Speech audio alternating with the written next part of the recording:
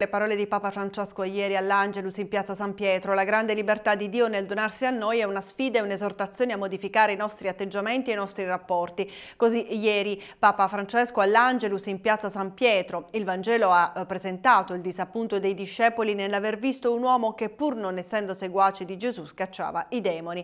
Ma la risposta di Cristo, ricorda il Papa, va in direzione opposta. Sentiamo. L'atteggiamento dei discepoli di Gesù è molto umano, molto comune e lo possiamo riscontrare nelle comunità cristiane di tutti i tempi, probabilmente anche in noi stessi.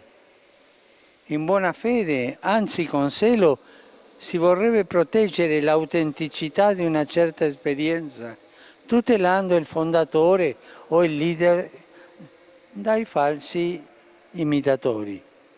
Ma al tempo stesso c'è come il timore della concorrenza e questo è brutto, il timore della concorrenza, che qualcuno possa sottrarre nuovi seguaci e allora non si riesce a apprezzare il bene che gli altri fanno. Questo non va bene perché non è dei nostri, si dice.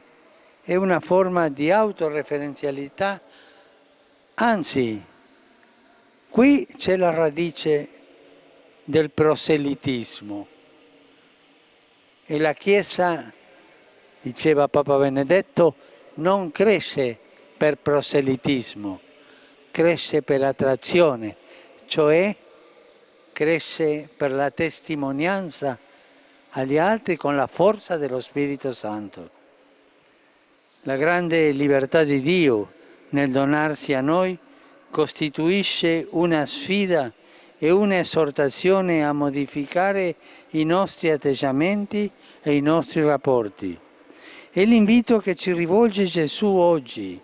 Egli ci chiama a non pensare secondo le categorie amico, nemico, noi, loro, chi è dentro, chi è fuori, mio, tuo, ma andare oltre ad aprire il cuore per poter riconoscere la sua presenza e l'azione di Dio anche in ambiti insoliti e imprevedibili e in persone che non fanno parte della nostra cerchia.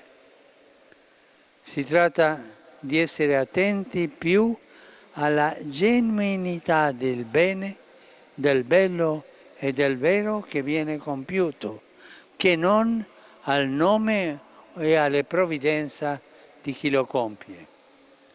E come ci suggerisce la restante parte del Vangelo di oggi, invece di giudicare gli altri dobbiamo staminare noi stessi e tagliare senza compromessi tutto ciò che può scandalizzare le persone più deboli nella fede. La Vergine Maria ci insegna ad amare la nostra comunità senza gelosie e chiusure, sempre aperti all'orizzonte vasto dell'azione dello Spirito Santo.